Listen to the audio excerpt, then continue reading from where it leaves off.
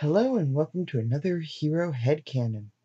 This time I want to do a fan theory or a what I would do for the upcoming Phase 4 of the MCU. I think I've titled this video Return of Black Widow. And that is kind of a lie. After Captain Marvel introduced the Skrulls to the MCU, many have speculated that a big Marvel Comics event might be heading its way to the MCU.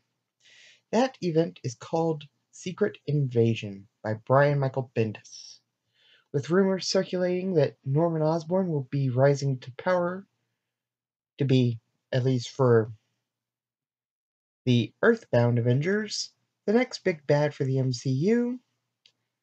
There is still speculation that this story will be adapted even with the Captain Marvel twist of the Skrulls not being evil. But this is the glory of Marvel, really making sure that their characters are relatable. Yes, the Skrulls in Captain Marvel, like most humans, are good. But that does not mean that literally every single Skrull is good. Which takes us into the story I am pitching a new young spy girl is infiltrating a AIM base or something, getting ready to take down some targets.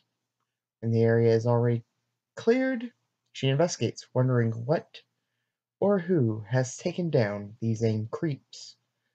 Finally, the young spy finds who has literally beaten her to the punch.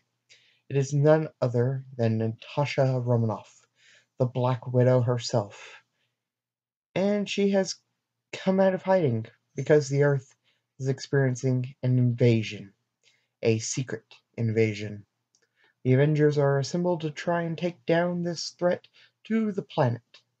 The team begins to eliminate Skrull threats until, shock of all shocks, the Avengers have actually been taking down high priority human targets, and the actual invasion moves from secret to full assault. We learn that the Natasha Romanoff we found at the start of the movie is actually the leader of this evil Skrull invasion.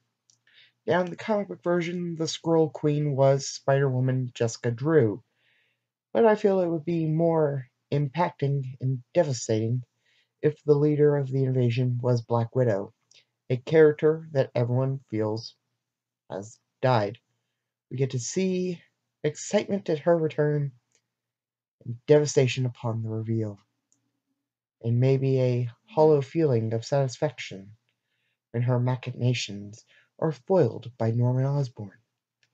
Later on, the Avengers are reflecting on the events and our new young spy, whose name is revealed to be Yelena Belova, says something along the lines of, I wish Black Widow really had returned, which leads someone, most likely Falcon, to say something along the lines of, I think the one we have now is more than capable.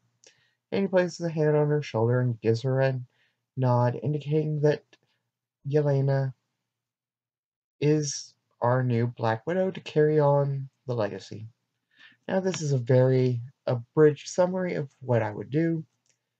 And honestly, you could even replace Elena with Monica if you wanted to. But what do you guys think? Let me know in the comments down below. For Hero Headcanon, this is Josh Redburn. Or is it? Dun dun dun.